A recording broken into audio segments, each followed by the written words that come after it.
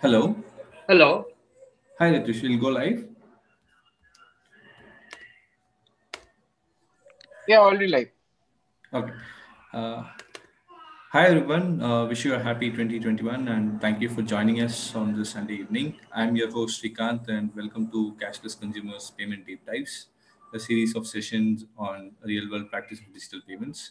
In today's session, uh, we'll be looking at killer apps detecting predatory fintech apps. Uh, to provide a brief context, you may have uh, read in the news about app based loans, uh, suicides, and arrests by various police agencies. Uh, Cashless Consumer, along with uh, Banbreach, did a broader study on the larger ecosystem of digital lending, uh, more specifically on the rogue fintech apps. And in today's session, we'll be sharing our findings and thinking aloud on possible solution to these uh, killer loan apps. Uh, joining us today for the session is Suman Kar, uh, CEO of Banbreach, uh, Banbreach, a cybersecurity company working on securing individuals and organizations in an increasingly hostile world through a combination of network security products and services. Suman and myself will be jointly presenting uh, over the next 45 minutes and uh, we'll have a Q&A followed by it. Uh, please post your questions on the Zoom Q&A or on the YouTube chat. We'll, we'll have them answered at the end. Uh, over to you, Suman. All right. Thanks a ton, Srikanth, and thank you, a big thank you to HasGeek and everyone there for you know letting us do this. Um, and I'm really excited to share uh, our little research that we've done. Uh, before we go there, I just wanted to say hi. I'm Suman Kar. I started Banbreach back in 2016, and the idea was to change the way cybersecurity is practiced in India and uh, you know make it more India focused and solve problems that we face here in India. And I think uh, our current work is very much in line with our vision as a company. Okay. Right. So what I'll do is I'll just share my screen or I'll share a presentation that we've cooked up to make things easy. And by the way, uh, Srikanth, should we just wait for a couple more minutes for other people to join in?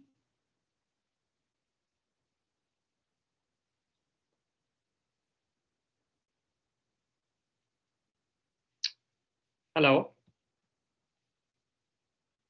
Yeah, just give me a minute. I'm just checking the YouTube stream if that's Okay. up and then. Sure.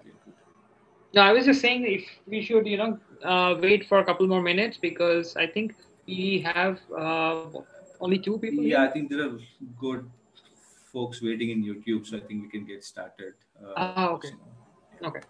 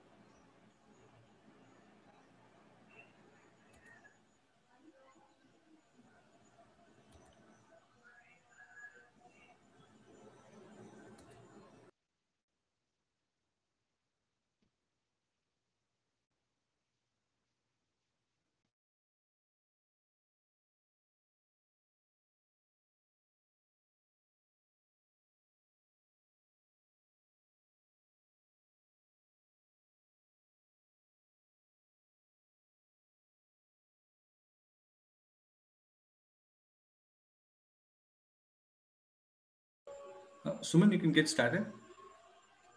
Sure. Okay. So our YouTube is up. Yep, yep. All right. Okay.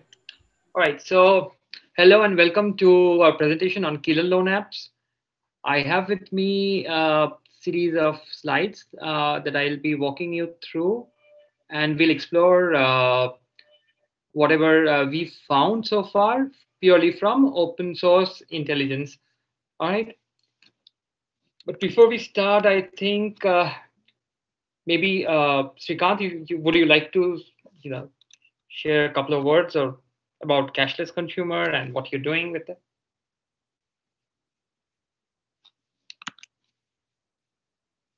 Yeah, sure. So, yeah. Uh, so, uh, for those of you joining us for the first time, uh, Cashless Consumer is a consumer collective focusing on digital payments, uh, looking through awareness, uh, technology, data, and policy surrounding digital payments to move towards a fair cashless society. so, as part of our research, we've been looking at payment technologies for a while, and in, as an extension to that, we've been uh, studying these fintech uh, apps on lending as well. Uh, so uh, we're an open community. Feel free to join us on Telegram, uh, and we keep chatting on all things payments from a consumer perspective. yes, Suman. Thanks, Srikanth. And please do join him. He's done some excellent work, not just on killer loan apps, but also a lot on the digital, I mean, digital payments landscape here in India. And uh, we we uh, we at Banbreach, we work mostly on security, so there is a lot of overlap there with what Srikanth does. And apart from security, we also work on privacy and anonymity. We we have products uh, that are geared towards uh, securing both individuals as well as organizations and we do consulting for organizations, especially database consulting. And uh, that, I guess, is a short and good enough intro. And I'll just get started with the presentation. All right. Okay, so our target audience for this presentation would be mostly anyone who is interested in the fintech landscape in India, anyone who's working on OSINT, as well as you know engineers and product managers. We also hope that bankers and law enforcement executives will watch our presentation some point of time, and uh, you know we'll have been able to provide them with valuable insights. So we've seen. So, Suman, your, sorry, sorry, Suman, your uh, slides are stuck. So if you're oh, okay, slides, right. Can you see them now? Yeah, yeah, yeah. All yeah. right, thanks. Okay. All right. So we also hope uh, the journalists will chime in, and uh, especially the ones who've been covering the fintech frauds. And we've uh, had some conversations with them, and we think uh, that there's a lot to explore for both uh, for both journalists as well as us. And you know, this is just a beginning. And finally, we, I think this would be a very interesting presentation for anyone who's starting uh, out in you know exploring app-based lending or app-based microfinance as well as how credit scoring authentication kyc and uh, even you know the cash flows through this ecosystem right and finally uh, i think uh, if you are uh, an open source enthusiast you should probably also watch this because we we need your help because we, when we are trying to build a supervisory tech for apps, uh, it's not something that we can do it by ourselves. So please watch this and you know let us know how you can help. All right, and uh, so, so, shout out to some uh, really helpful people on Twitter who've you know pointed us out in the right direction or even you know shared very good intel with us. We'd also like to thank journalists for covering this on a national level. And there's some fantastic OSINT platforms that have helped us do that. Creative Wolf uh, has really, you know, as I, I, I, mean, he's been fantastic. He's been awesome, actually. He's been juggling uh, work for 14 hours and then, you know, putting in, burning the midnight oil with us. And of course, uh, huge thank you to HasGeek for uh, setting this up. All right. And and before we actually go into the research bit, I just wanted to make sure that we understand that this is not a complete work. This is something that we are working on actively, even as we speak. So this is uh, this is a rough cut, rough first uh, version, sort of, and uh, we've not yet uh, covered every single company or app that is that exists there in this ecosystem, and we've not yet uh, covered uh, you know how these apps or companies or individuals are linked with each other. And but we do hope to cover this in over the next couple of months at least. All right.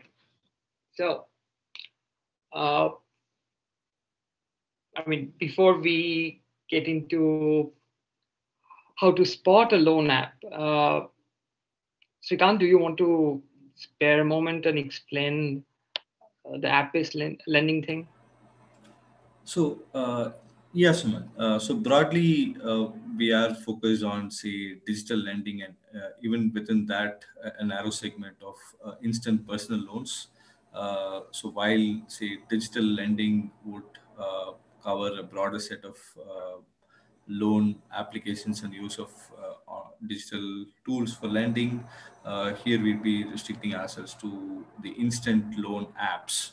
So these are apps on uh, which people can download and install, and uh, which also provide them instant uh, personal loan, uh, often with uh, no collateral.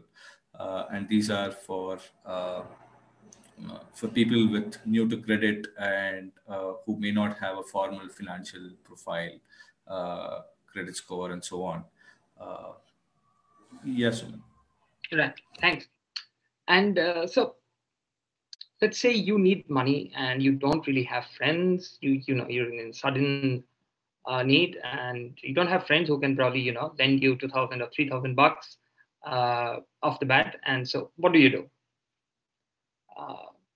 Because we have a smartphone and we have almost free internet I think the most natural reaction for us is to go on to Play Store and see if there is an app for that. The Play Store being the uh, ever helpful tool that it is, you know, the moment you start typing in, it'll give you like 50 different suggestions on, you know, how to look up loan apps.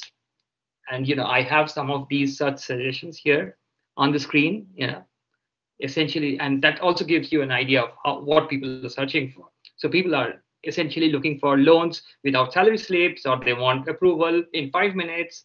So the expectation is that people want uh, low collateral or collateral free loans instantly. Okay. And when you look for that, you're going to find hundreds and hundreds of apps, right? And it's uh, overwhelming when you first start out looking at these apps. So, so not only, and the biggest challenge then is to you know find an app that you can trust and that you'll you know it's going to solve your problem and this is where it becomes very tricky because most of these apps they have a very standard look and feel if you go on to the app page you'll see that they have a uh, semi-decent logo. They will have a semi-decent uh, screen, uh, you know, mock-up screen mock-ups on the app description page, and you know, you'll you'll probably also see that that app has been downloaded 50,000 or 100,000 times, and uh, you'd see rave reviews as well. So, so you know, you'll probably feel very very comfortable about downloading that app, and that's where people actually go wrong. Because if you scroll down and you know if you look at the additional information section that's where things start getting in interesting. For example most of the apps that have been abusing users trust or you know who've been who've driven the apps that have driven people to suicide they're very very shady and when you go down to the additional information section you'd probably see that they don't even have a privacy policy they, they probably use a generic Gmail address for consumer complaints. and uh, they they probably also not have a website. The app that we have here on on this screenshot is an exception. Why? Because it has a, a privacy policy. It has a website. Okay. And uh, Srikanth is going to tell you more about you know the statistics on that for the entire universe of apps that he's seen. But uh, so this is the first red flag. Okay. The second red flag that you should look for is what are people saying about this app. So you should go to the reviews page and sort by newest and then start looking at and start reading at least the you know last 20 or last 30 comments. There are two kinds of comments usually. Uh, you'd see that you know people have mostly trashed the product or you'd see people have given it a five star review. Now if you look at the five star reviews they are they look like uh, they're from bot accounts okay? And uh, while we don't have a complete picture on the bot ecosystem but uh, what you can use to you know figure out if it's a bot or not is you know you can look at the text. So you know if it's a genuine customer he or she will probably have put in a proper sentence or even a paragraph right explaining what he or she liked about the app or what he or she didn't like about the app. On the other hand these uh, bot based reviews they are very very short usually you know and most of them give it a five uh, five out of five star. And uh, they'll just you know say two or three words like it's a very easy process or you know it's a fantastic app. That's about it.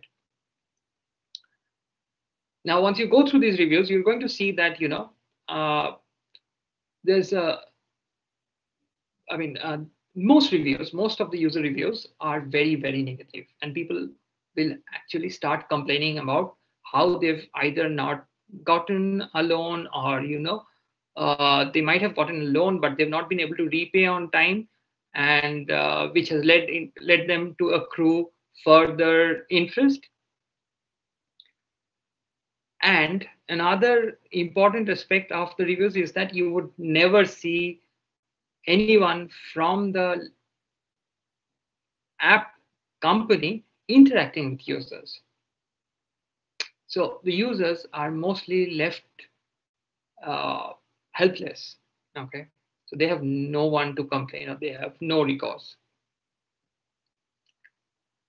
There's another interesting thing that we looked at, uh, that we found actually when we were looking at these apps, and that was uh, how the reviews are distributed. So if you, this one, this particular app that we have here is an exception. But for most apps that we looked at, the reviews were extremely skewed. You would have, uh, you know, you would have 50,000 downloads and around five to 10,000 five-star ratings and probably 500 to, you know, uh, one-star ratings from irate customers and nothing in between. Now, when you don't have any reviews in two, three, or four-star range, it's another huge red flag.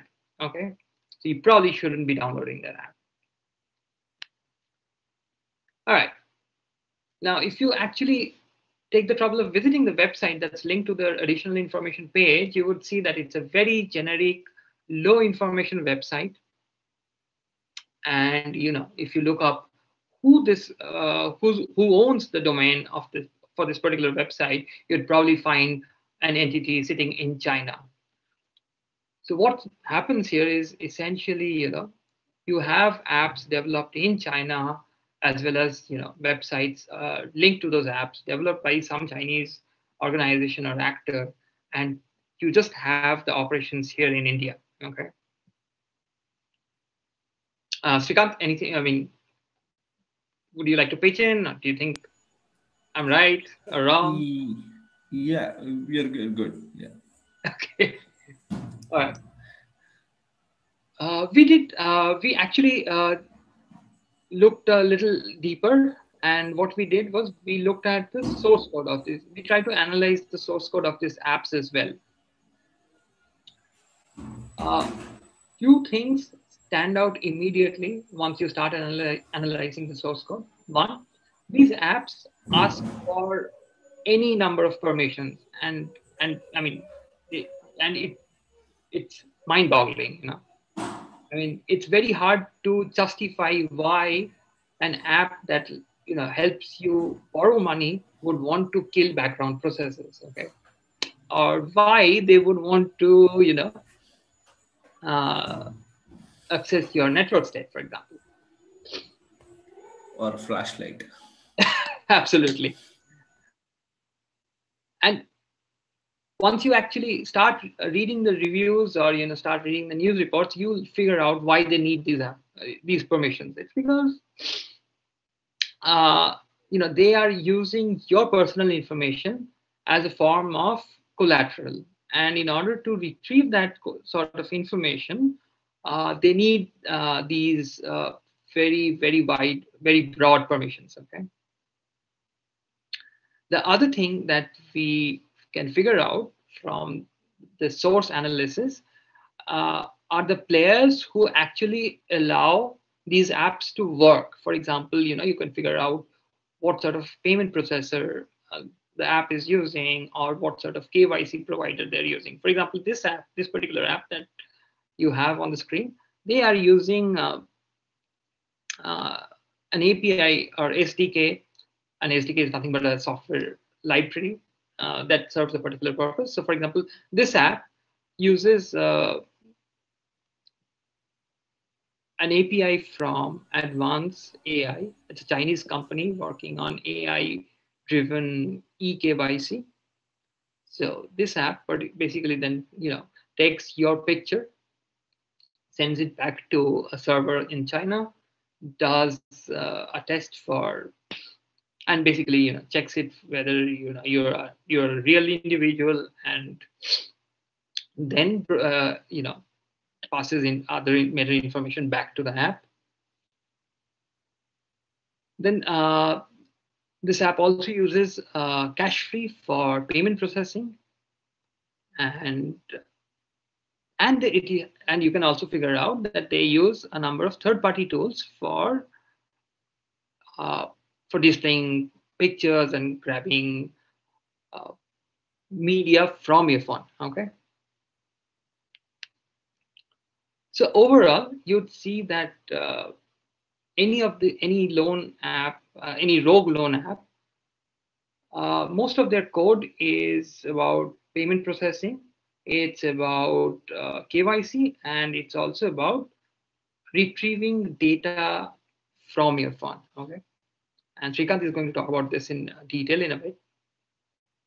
All right. Okay And there's another thing, uh, another very interesting thing that we found because uh, these apps actually go all out when it comes to app store optimization. So, you know, uh, they would have about, you know, 10, 12 keywords stuffed into the name of the APK so that, you know, uh, it uh, scores better. And, you know, it's uh, they, these apps come up higher when you're looking to looking for a looking for an app to borrow money from okay?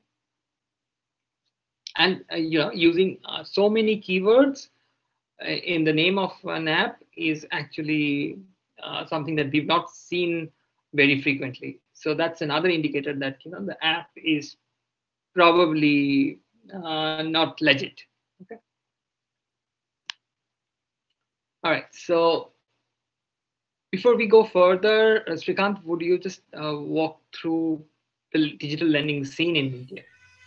Yeah. Uh, so uh, broadly, uh, digital lending covers, as I mentioned before, a broader set of uh, use of digital technologies for lending, and this includes a peer-to-peer lending, which is again done by a set of NBFCs, but slightly at a larger scale for high value uh, loans. And then there is uh, OCEN that is coming for business uh, lending based on, say, GST and so on. And then there are retail consumer loans. So these are basically the instant loan apps uh, which people can download. And uh, they often do an uh, online KYC and then uh, service new to credit customers. So typically people who don't have a credit score with uh, CIBIL and so on and they have an end-to-end digitization of lending. And on the next slide, uh, so at a very high level, uh, if you compare uh, the, the, offline lending or the previous mode of lending uh, by banks and NBFCs uh, and digital lending, in the, in the, case of offline lending, you will have actually agents who will be sourcing leads. so who will be these will be telecallers. these will be people who say put pamphlets and then source leads. Whereas in the case of digital lending, you will uh, increasingly find uh, online ads are like key drivers. So you will have online ads on say platforms like YouTube uh, or even say uh, Google Ads and so on. Uh, or any of the even uh, ads on your phone. so if you have probably some game app, that will probably have an ad as well. And the uh, offline lending used to have a paper-based uh, flow where you need to fill up a form and it will have an uh, approval cycle uh, done offline as against in the digital lending world you will have uh, an online application and an instant approval. Uh, so in the offline world you'll again have some kind of a credit bureau check. In the digital world as well you will have the credit bureau check. Uh, in addition to it, you'll also have uh, alternate credit risk providers, particularly for the new to credit customers. Uh, again, in the offline world, you will have uh, typically will be made to open a new account and uh, it, or otherwise it will be dispersed via a check. Whereas in the case of digital lending, uh, you will get the money instantly using IMPS, most likely, or in some cases, you'll also have a credit card that is sanctioned a limit when it comes to collections uh, in the offline world, it's again either predominantly cash or check, whereas in, in the digital lending scene, uh, it's mostly done through cards, UPI, and, and in some cases, eNACH. Um, another comparison on the recovery tactics uh, in case of uh, default borrowers uh, is that in the case of offline lending, you will have strong arm recovery tactics, so like people coming to your home and so on. Uh, in the online, uh, that has an equivalent in the form of cyberbullying and social shaming. So these are uh, the WhatsApp groups that get created, uh, and the picture of the person will be put in that group, and all that person's contact will be in that WhatsApp group. So that's a form of social shaming. And we've seen that this is like predominantly predominant driver uh, in most of these suicides that have happened. Right. And uh, so why are people driven to suicide? And i think this is uh, something that Srikanth, you remember. You talk uh, you told me about this that you know how people actually end up with 20 or 30 different such apps on their phone right? Right. So and you know when we started looking into it what we figured out was that you know there's always this gap in the amount of money uh, that an individual needs and what the platform provides. The first first uh, first hurdle for someone who's looking to borrow via one of these uh, lo- uh, loan or lending apps is that you know when they need about 10,000 rupees, they'll probably uh, get a loan sanctioned for only two or 3,000 rupees, right? So that's the first problem. Now, if, even when, uh, you know, a 2,000 rupees loan is sanctioned, the individual doesn't really get 2,000 rupees. What they get is 2,000 rupees, uh, something less than 2,000 rupees. And uh, they get less because there's a processing fee usually 14 or 15 percent of the loan amount that's deducted already okay so what the individual at so when when an individual actually gets a loan what he or she really gets is uh, the interest for the amount he originally wanted to borrow and then an uh, amount uh, which is slightly uh, less than what he wanted okay? So for example if he wanted to borrow 2000 rupees he would actually have to pay a processing fee of uh, 280 rupees and uh, you know for a 15 day loan. And uh, he would get 1720 uh, rupees in hand but when it comes to paying back he'll have to pay back 2000 rupees as well as uh, 30 rupees interest that he'll be charged for 15 days. Now, this is assuming that he is able to pay within the tenure that the app has scheduled for him. What happens in most cases is A, the app's payment gateways do not work when people actually try to pay on time, which means they fail and they start accruing interest, which is usually at twice the interest rate that they're charged when they borrowed in the first place. Okay. The other thing is, of course, you know, if you need, uh, you know, 5,000 rupees, you get a loan of 2,000 rupees only. Uh, you'll probably have trouble uh, making ends meet. So anyway, you know, you might actually also end up uh, having trouble repaying the loan after 15 days.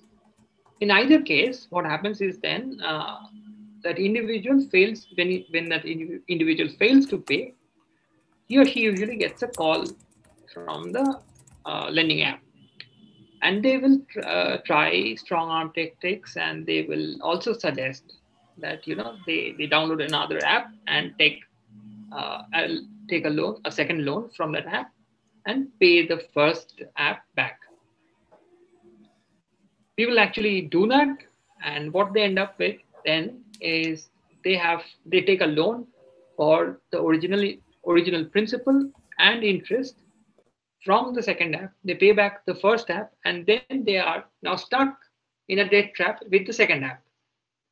Now, when time comes for repaying the second uh, loan, they they they again face the same problem with payment providers not working, payment gateways failing. So you know they start accruing interest. They, then they go move on to a third app, and so on and so forth.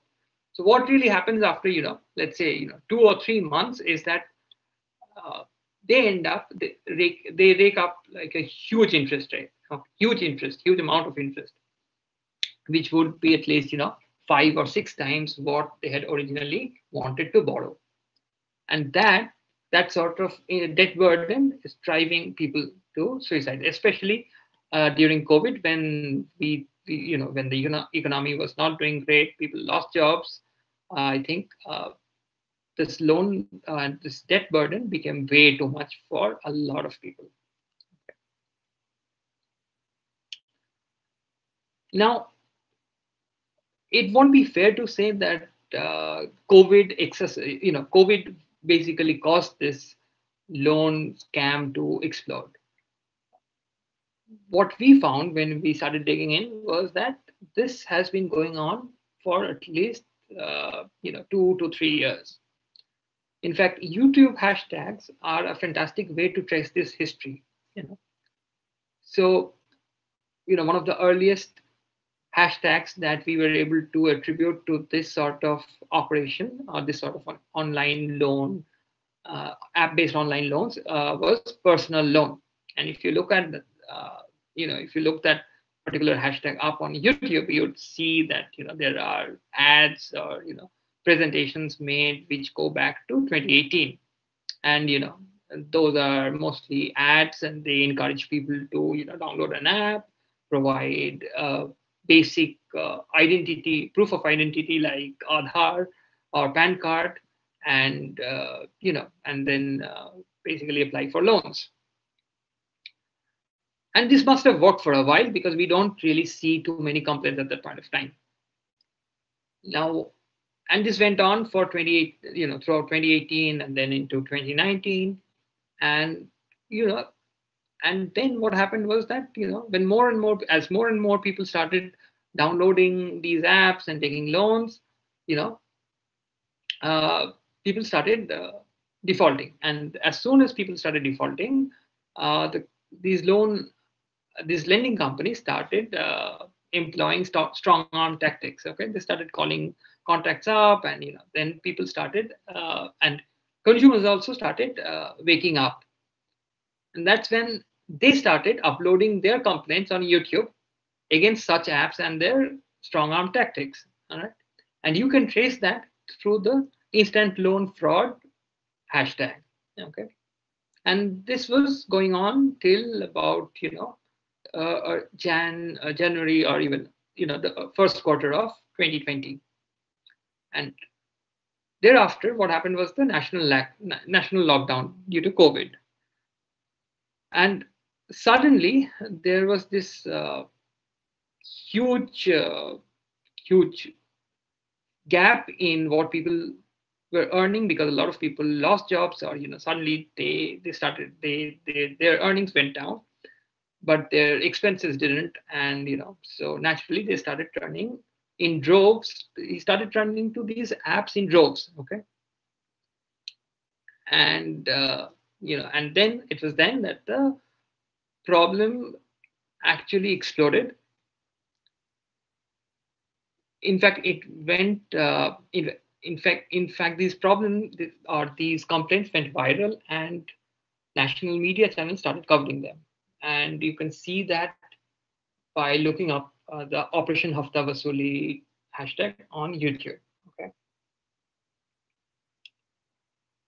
Now, while YouTube provides us uh, with a picture of what the apps were doing to attract customers and what the customers were trying to, you know, fight back, uh, that we also see that these apps were present on other social media platforms like TikTok and Facebook. Okay, and I we have a screenshot of an uh, you know of an of a video on TikTok. Okay, and this is for an app called Cashbean. Okay.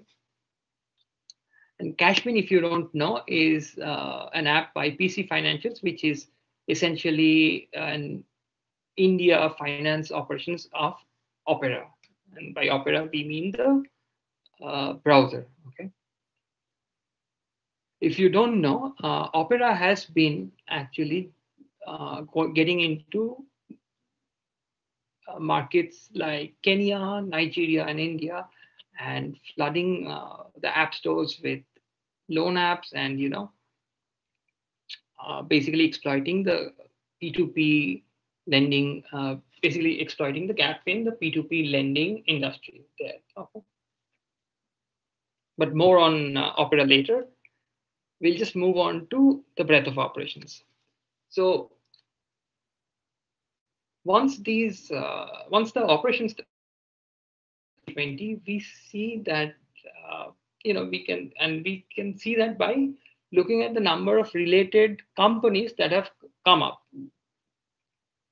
Here's, uh, you know, and we have here essentially the number of companies that we were able to link to uh, one or more of the apps that we uh, we have and we see that you know things were relatively quiet up to 2017 and then in 2018 and 2019 there was a major push and that that also coincided with the fact that you know India was also pushing digitization and digital economy a lot at that point of time.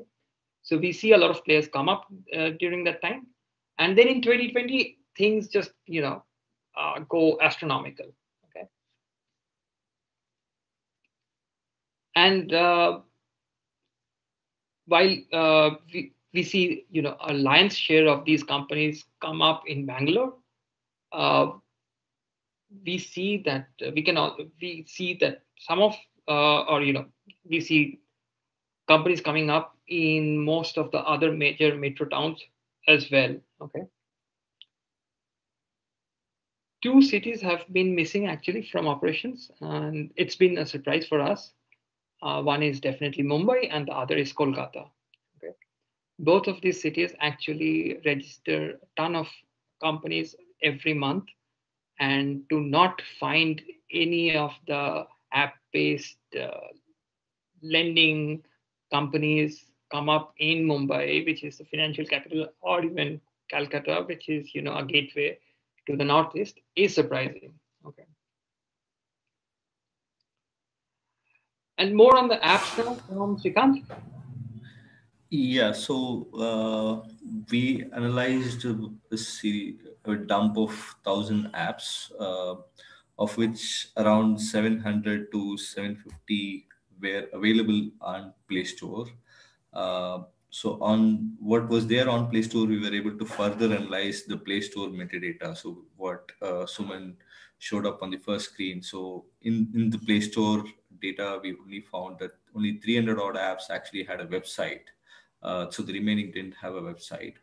And in Play Store, uh, there's also a, a, physical address that's present, and only 90 of these apps had a physical address. And and here it's not even a legitimate address; it could be something like even like Bangalore, India. Uh, so only 90 of these apps even had uh, something mentioned in the physical address. I mean, this is another proxy indicator to detect if an app is uh, real or, or, fake. So one easy way is to check the address and then uh, if you have some doubt or want to double check, uh, take that address and uh, search out on Google Maps. Uh, you would probably see if there is a company uh, or if there is a there's a bylane, a gully in which some uh, somebody has put a board. So you, you'll know the difference whether it's an actual company in a city or uh, in some bylane in some city. Uh, on the so there are 300 other apps uh, which are either part of the Google Play Store or uh, were never uploaded into Play Store. Uh, so we don't know whether they were in Play Store and then got deleted or they never made it to Play Store. but there are again 300 other apps on that uh, let me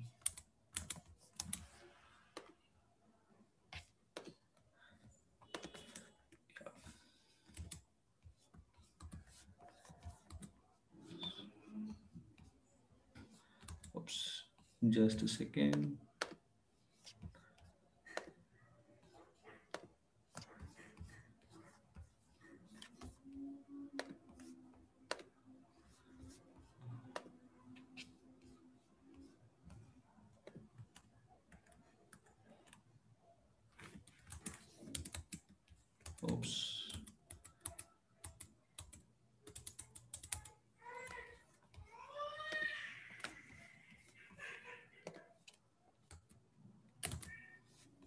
sorry so i just lost the presentation. Do you want me to reshare? Yeah. No. Okay yeah. Uh, so uh, on one thing one other thing that we found was uh, among these thousand apps uh, 600 of them at least used uh, some kind of uh, liveness detection uh, or, or they took the selfie and then they ran it across an AI.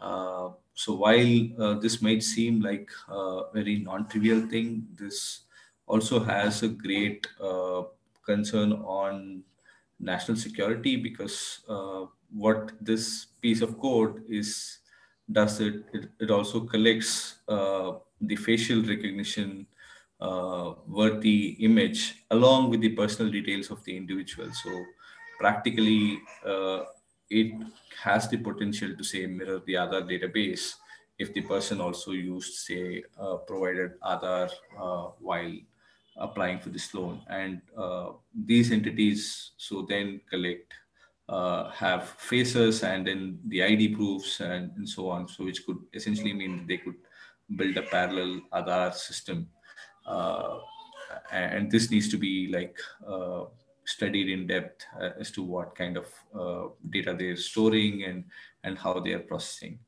And also 85% of these apps were broadly white label based. Uh, so by that i mean these were apps that were uh, deployed out of the same template. So there's probably one company that makes a white label app and then the individual uh, companies that brand themselves as whatever apps they want to uh, do their branding and then release the app. Uh, but the app functionality uh, in, in terms of the uh, technology backend remains the same.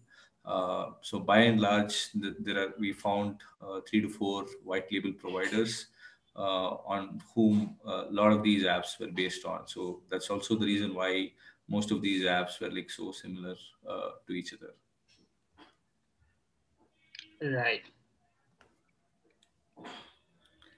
And uh, so, and the apps, uh, it's not just uh, that the apps are similar, right? We also found that there's a uh, huge uh, amount of overlap in the directorships that these companies have. So when we started looking when we started looking at the apps, we also tried to map which registered company each individual app belonged to. And then we started looking at the directors of those companies. And as uh, we went uh, along that road, what we found was that uh, the same names kept coming up across different companies. Okay. And it's not just the names uh, of individuals that came up repeatedly, but we saw that you know the same address come up against 30 40 apps in one case or we would see same email address that has come up against you know companies that have been registered in four different cities. All right. Now that's the uh, indian human resource part of the companies but what these uh, app companies also share in common is that uh, they have at least one or two directors whose names appear to be Chinese at this point of time. And uh, in fact, what we saw was uh, there would be one Indian individual who would share directorship with multiple individuals with names that appear to be Chinese, and uh, and we see this pattern repeated across cities. Okay, especially in the companies that have come up between 2019 and 2020. And what surprised us was the fact that, in spite of the travel ban, in spite of the lockdown, the speed at which companies kept getting created uh, did not go down. And uh, all right. All right. So apart from uh, individuals, uh, we also wanted to take a look at what all services these apps, you, you know, what all services these apps use. And I think uh, Srikanth has uh, some insight into this? Srikanth, would you like to?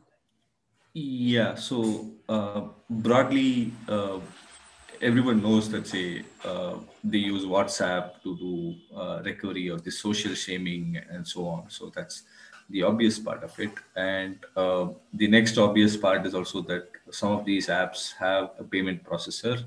Uh, so we uh, we do have uh, so here again there is a distinction there are apps without any kind of payment integration and uh, possibly the both the disbursements as well as the uh, collections happen using individuals uh, gpay account or paytm or upi in which case the app will not have any payment processor in it but we did find good amount of apps having either razorpay cash free or payu uh, integrated into them.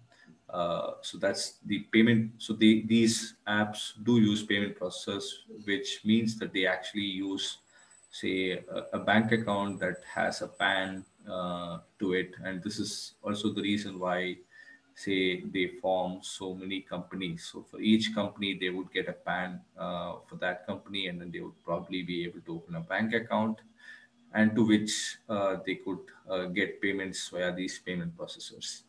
And uh, aside from that, the next obvious thing would be the eKYC provider. So eKYC post COVID has also been largely focused on video KYC, which means that you take uh, a selfie video or a selfie and, then upload uh, on the app. Uh, and for these, they use uh, uh, by and large two providers. one is Hyperverge.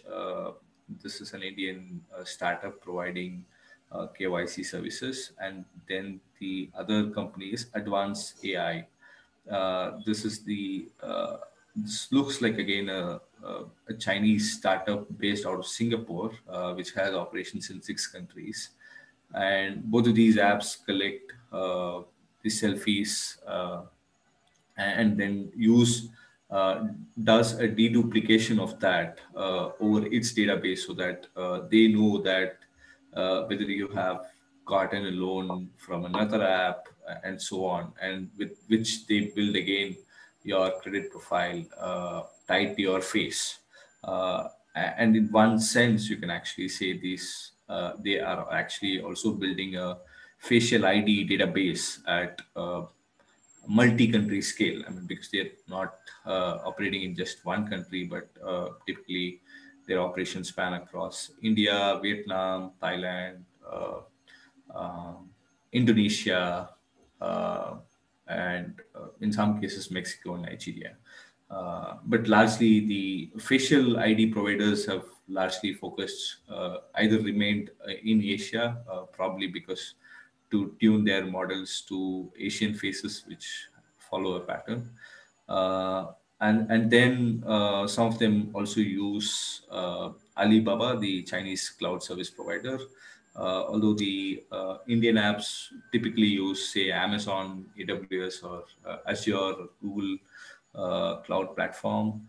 Uh, the Chinese apps use the Alibaba cloud uh, uh, as their cloud backend. Uh, and then comes uh, ad brokers. So these are uh, basically drivers to get the app installed. So while they these apps are listed on Play Store and depend on Play Store for installation, uh, not that's not their primary source of uh, app installation. They do depend on ad brokers who kind of uh, show up ads uh, to users who are more likely to install these apps. And there are these uh, multiple ad brokers who use uh, gambling apps YouTube to push in ads. Uh, and then there are analytics providers who basically do their bit in analyzing all your SMSs, or in some cases, including your, say, contacts and, and call registries to kind of give you a credit score or an alternate score. Uh, and here again, we have Hyperverge, Advanced AI, Think, Think 360 as uh, providers. Uh, and moving on, we have like uh, white label providers. So as I was mentioning that uh, a large section of these apps were kind of generated by white label providers. So we found uh, like at least three entities, uh, PyTixi, uh, Epoch, and Fintopia. Fintopia, uh, interestingly, is registered in Bangalore, uh, but again, is a pan-Asian uh, fintech as a service white label provider. Whereas PyTixi and Epo are headquartered out of China. And so all these three entities basically are like shops where uh, anyone can go and, and buy uh, like give me a fintech app or uh, give me a loan app plus the loan backend or give me all technology that's needed for me to run a loan app uh, so where you can just go and shop uh, the technology required to run operations uh, for these lending apps and then they of course use uh, all these apps use wide range of permissions on Android to kind of source data. And uh, it, what's interesting to note that is uh, while they source data after you install any of these apps, uh, they also use data brokers uh, who have embedded themselves into some of the other apps. So even if you don't have a loan app today on your phone, uh, depending on the app that you have, uh, that could be seemingly unharmful, let's say a, a, gaming app for say a bubble shooter or your something that your kid plays. Uh, but it might also be collecting the same amount of data and sending it to data brokers uh, who would then share that to say the analytics providers and, and the white labels to provide uh, convert that data into risk models and credit models. So these are again some of the uh, technology services that these apps rely on, and there are like wide range of providers for each of these bits, uh, and, and, put together forms uh, the uh, digital lending ecosystem providers, so to speak. Okay. and uh, I think the overwhelming theme that we have seen uh, across this ecosystem, so whether it's an analytics provider or whether it's a cloud provider, whether you know uh, it's uh, it's the core, we see that uh, most of it is sourced from China, and we also see mm-hmm. that uh, the, the money is probably also flowing in from China via individual investors, right? Right. Now, uh, I think uh, we, we, we really think that uh, this is a fairly serious situation we are in as a country, and we, we need to take some bold steps to address this. So, we think there are four areas of action at this point of time.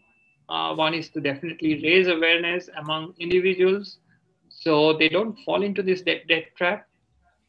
The second one would be to work with platforms like you know Google and Apple to make sure that these sort of uh, microfinance apps do not end up abusing users' trust or you know they do not abuse uh, personal identifiable information. Okay and uh, we also need to make sure that you know the ads that pop up on platforms like facebook or you know tiktok or youtube they do not exploit uh, the this uh, this particular segment uh, of our population who need money but are probably not financially very aware on the regulation side, uh, this is uh, this is a um, I would say this is one area where regulation definitely needs to pitch in. Uh, you know, we've had uh, a banking sector, a thriving banking sector for decades now, and yet uh, you know the unbanked or you know financial inclusion has not been stellar and the lack of financial uh, inclusion often leads to you know people without anywhere to go when they really need money to make ends meet. So this is not like people need money to you know to gamble but these are people who probably need money to go see a doctor or probably you know the rap cab driver who needs money to you know uh, get his uh, his cab repaired so that you know he can run it uh, the next day. So uh, we, we really hope that you know uh, RBI is going to pitch in and you know take a stronger stance against these apps. And finally, we think law enforcement needs to do a lot more. We've seen some laudable efforts from uh, the police uh, force in Hyderabad, in Chennai, but we, given the breadth of the operation, we think a nationwide approach would probably suit better. Srikanth, your thoughts on this? Yeah, so on, on the enforcement, a uh, couple of things. So one is regulatory supervision by RBI on uh, how these actors get access to bank accounts, uh, payment uh, processor systems, and so on. So that's that's one area where uh, there has to be stringent guidelines on, say, due diligence before uh, having gateway accounts and so on. And the other uh, is we still to see the end of this in the sense that there has been some action and investigation by the police, which is laudable. Uh, but more often times, uh, especially in the case, the context of cyber crime, uh, there hasn't been a prosecution. So somebody is not going into jail convicted, uh, and that needs to kind of go up uh, to have uh, these frauds checked. Uh, so it should not be like there is some police action that's happening and then it slowly fizzles out in the news and nobody gets arrested and things get back to normal so, so that's one area again where, uh, particularly in the context of cybercrime, uh, the prosecution of uh, these crimes needs to have uh, a better role as well. The thing that you know uh, I forgot to add is that the fact that uh, personal data, including you know Aadhaar information or your you know, facial biometric information is being shipped off outside of India, that itself is a huge national security concern, right? Right.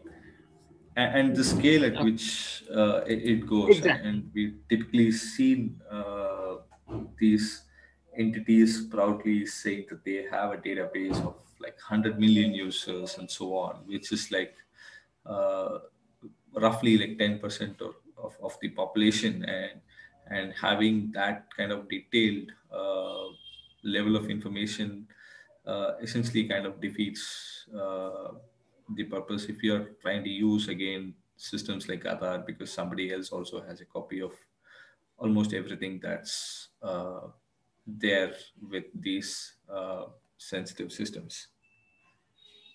Right. So, so how did we go about uh, figuring out all this information? So, we did two things. One, we built a set of tools ourselves, and uh, we looked at and we used a few third-party tools. Uh, I let Srikanth chime in on the third-party tools, but I'll just take a moment to explain uh, what sort of tools we have built.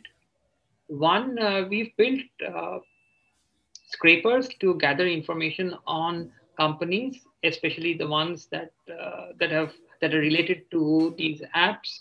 So we look at the app metadata on Play Store. We then cross-reference it with application. Uh, we then basically uh, cross-reference it with publicly available metadata of corporates in India. And we then also look up the directory information from that corporate data. Okay. That's one thing. The other thing that we are doing is we are building our own tool to make it easy for anyone to look up uh, the network of these apps by uh, using indicators or artifacts that we think are interesting. For example, you know, one indicator that we found very useful has been the email ID that is registered against any company. Okay, and uh, or for for that matter, you know, the name of a director. So you know, you you can you should be able to look up uh, how many companies an individual is linked to with uh, just one click, essentially. Okay, and I'll go on to that uh, in a second. Uh, Srikanth, do you want to just go through the other tools that we've worked? Yeah, so the other tools include like Koodous, which is an Android, uh, iOS mobile application open source intelligence tool. So what they do is they analyze uh, almost pretty much every other app that's out there and provide the analysis for us to query based on a range of factors. So this is how we figured out uh, a bunch of apps. We use the same uh, facial recognition provider or a bunch of apps are hosted on Alibaba Cloud. So you can actually do a search on uh, various of these parameters and then get a list of apps uh, and and can monitor these searches as well. The other is MobSF, uh, which is a open source mobile security framework, which can uh, analyze any particular given app. So when when we are short of intelligence from the standard analysis that's out there in Koodous, MobSF uh, reverses an entire app and then lets us uh, go into deep as to what all an app does and one could even get a, a approximately accurate reverse code. Uh, and then there is a Google Play API uh, that we use to dump all the data into the database that we have of all the apps. So which basically gives, given any uh, app, uh, it can fetch all the metadata involved, or it could even get a list of apps uh, on a particular uh, search uh, term and then populate the list of apps. And this is how we kind of built uh, the database of thousand apps. And we, we're still like using these uh, tools to kind of expand the database. Uh, yeah.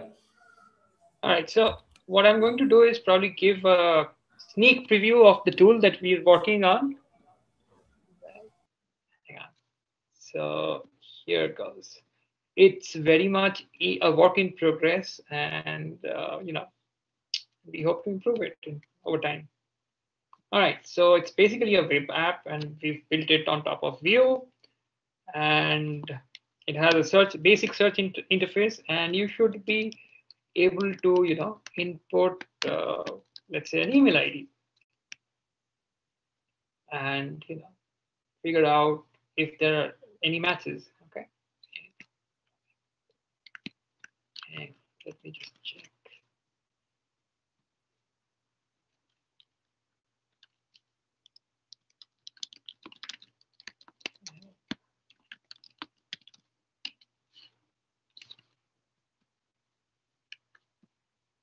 And while someone checks that, uh, if you have questions, please type them on the Zoom Q&A or the YouTube chat. Uh, we'll have them answered now.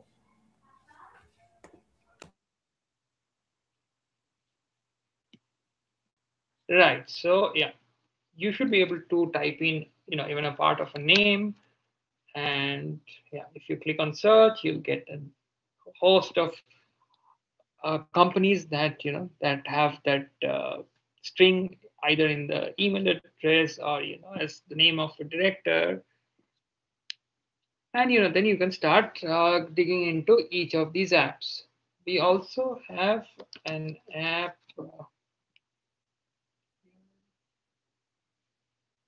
all right so we have listed almost all the apps that we have seen here.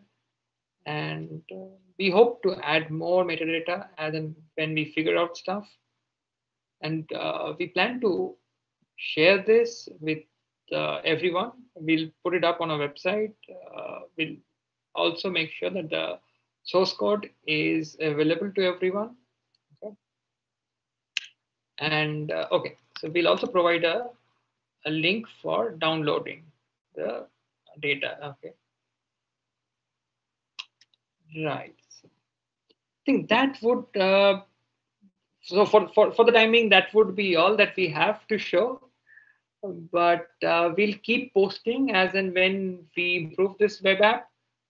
And uh, you should be able to get it, uh, you know, get the information from our Twitter feeds, and you know, you should be able to get the source from our GitHub repo. Okay. All right, so we're almost done. Anything else? Uh,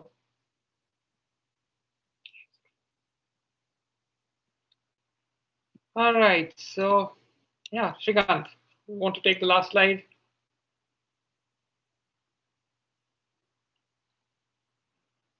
Hello? Hello? Yeah, uh, so while we wait for questions, uh, feel free to join us as we kind of build this uh, small little tech to kind of be a watchtower on top of these app ecosystems. Uh, so I'm Srikanth. You can follow our work on cashless consumer on our website, a blog, or join our Telegram channel uh, and chat with us. You can reach to Suman on uh, Banbreach uh, on Twitter, GitHub, and let me see if we have any questions. Okay, so uh, Tarunima asks the graph on annual companies registrations. What sort of companies are you describing? So I think this is on the earlier slide, uh, Suman. Right. Let you mentioned back to the, the slide. Yeah. Uh, hang on. Let's go back. Uh, to slide. Uh, the, this one, right? Company is incorporated by year, right? Right, right. Right. Okay. So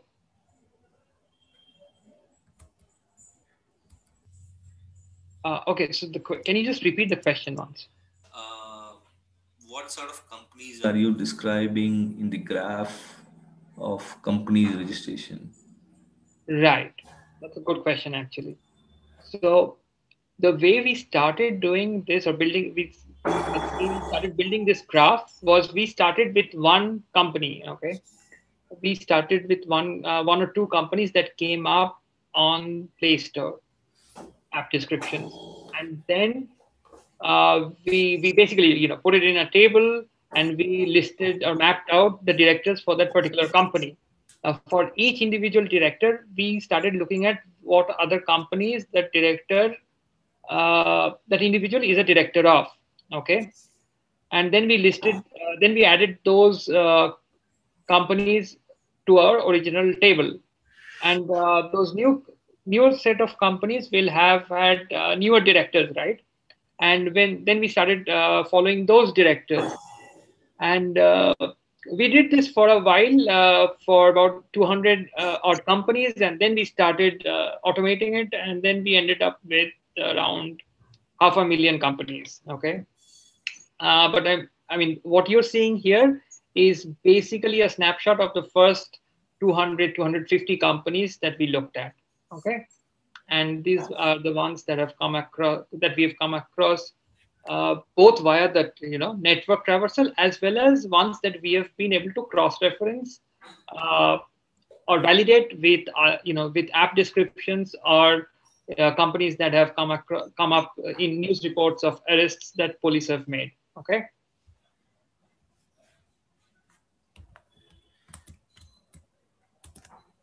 okay and uh, okay so next uh, question comes from Raminder Singh. Uh, he asks, how can we enforce Play stores like Google uh, to have an indicator within Play Store to red mark few apps? Like there is no indicator if any app is banned by government, but uh, already on my phone. Uh, and we are not getting any notification to uninstall or it's banned. Okay, I think this uh, largely is about people who have already installed uh, one of these apps, uh, but then Google Play Store removes these apps for whatever reason after the arrests or police writing it in, into them.